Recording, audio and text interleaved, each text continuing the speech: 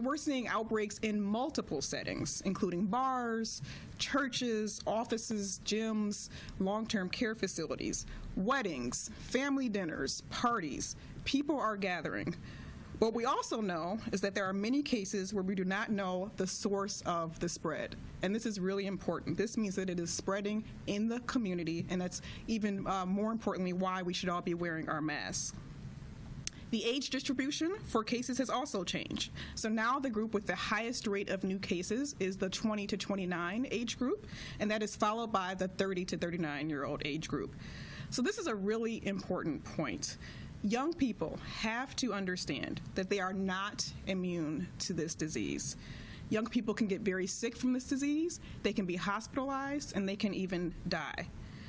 Even if someone no longer needs to be in the hospital, there are possible long term health impacts from COVID 19, many of which are still unknown. People can have persistent lung damage. We're seeing uh, studies and reports of possible long term brain damage and psychiatric challenges as a result of COVID 19 infection. And even if you don't get very ill from the disease, think about the people that you can spread it to people with underlying medical conditions, those who are older, people who could easily lose their lives.